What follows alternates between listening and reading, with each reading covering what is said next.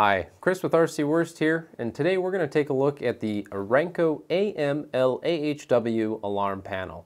These liquid level alarm panels are used indoors or outdoors as a standalone alarm in conjunction with a single float switch for indicating a high liquid level condition.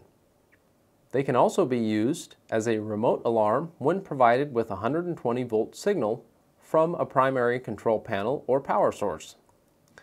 The power source for these alarms does need to be 120 volts.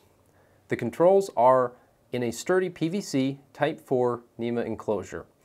They are rain tight and suitable for the elements.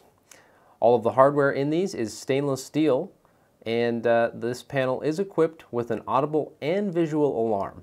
The alarm is rated at 95 decibels at 2 feet so you will be able to hear it anywhere in the vicinity. The visual alarm is uh, this LED right here, which will light up in the event of an alarm condition.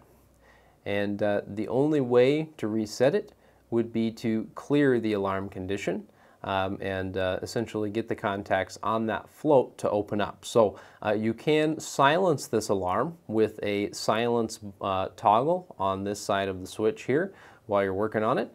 Um, and if that condition does occur so that you could diagnose the issue.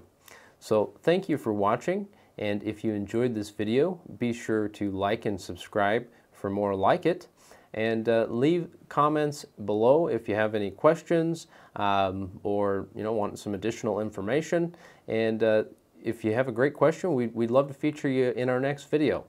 Thank you and have a great day.